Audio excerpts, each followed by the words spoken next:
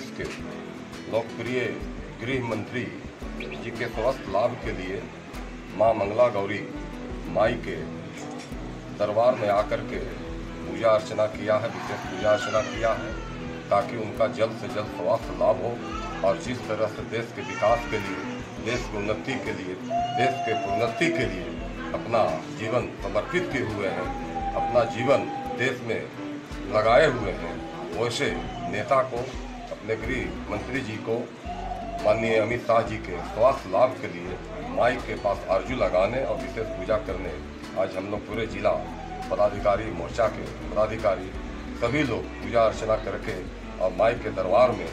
ये हम लोगों ने पूजा करके माई से आग्रह किया अब अपना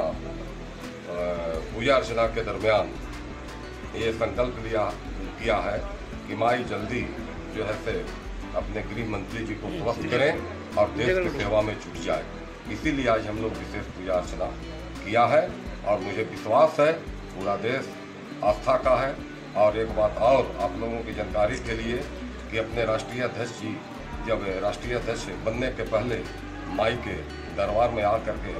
माथा टेकते थे और वो भी मनोकामना पूर्ण हुआ और ये माँ मंगला गौरी माई शक्तिपीठ के रूप में जाने जाते हैं। और हम लोग यहाँ पूजा अर्चना करके निश्चित रूप से जो हम लोग माई के दरबार में आके पूजा अर्चना किया है, ये नतीजा निश्चित रूप से आज से कल तक मिल जाएगा।